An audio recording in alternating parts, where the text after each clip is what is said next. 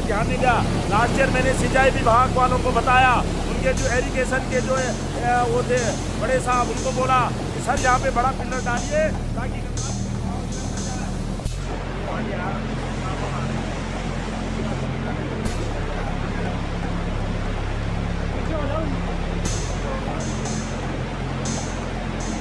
लापरवाही की वजह से आज हमको ये चीज़ भुगतनी पड़ रही है।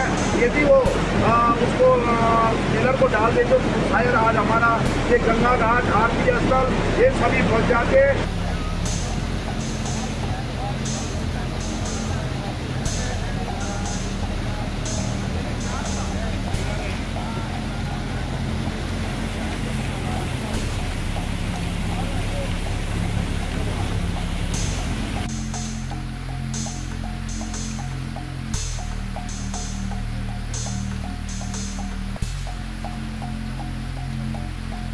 जय गंगा मैया की।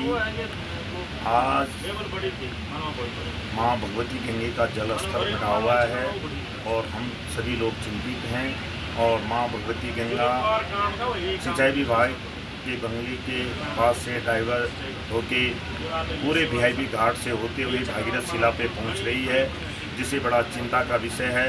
लास्ट ईयर जो आ, सुरक्षा वाल लगाई गई थी पल्ली पार के लिए उससे काफ़ी सुरक्षा हो रही है। पर जिन्होंने भी यहाँ पे काम किया है सारा जो मलमा है वो सही ढंग से उसको निकाला नहीं गया है। मैं जिला प्रशासन एवं उत्तराखंड सरकार से अनुरोध करूँगा कि जैसे ही माँ भगवती गंगे का जल स्तर कम होता है जितना भी ये गाद आया हुआ है इसको तुरंत हटाने की वो की जाए कार्रवाई की जाए ताकि गंगा का जल स्तर आने वाले समय पर, निचले स्तर पर बह।